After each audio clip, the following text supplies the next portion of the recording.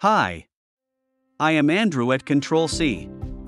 In this session, I shall show you how to configure and host the EBO OPC client in the EBO workstation. First, we will open the EBO workstation. In this example, we are using EBO 2022. Let's create a new object. Let's click on Server 1. Then we should right-click and then click on the New Object menu. Let's choose Interface and then Web Service.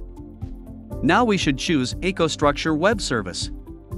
Let's choose a name for this new interface. For example, EBOOPC Client. Now let's click on the Edit in Wizard button.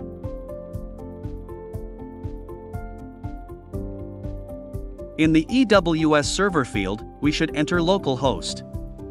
The port number should be 5300. In the username and password fields, we should use the username and password that can be found in the Smart Connector local portal.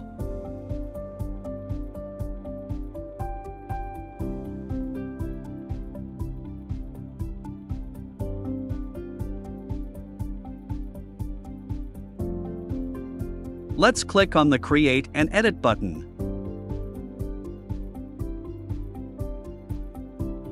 We should change the value poll interval from the default of 60 to the required value. In our example, I will set it to 1 second. In addition, we should disable alarm polling. Let's click on the Save button. Now, we need to host this EWS server in the EBO. Let's click on Hardware. Under EcoStruxure Web Services, we shall see the EBO OPC client. Beneath it, we can see the Smart Connector object. Using the right-click menu and then click on Host EWS Objects. Click on the Select button. Now, we can see that a new object called EBOPC Client was created at the bottom of the EBO tree. When we browse this tree, we can see its groups and OPC items. Let's select the desired items and drag them into the watch pane.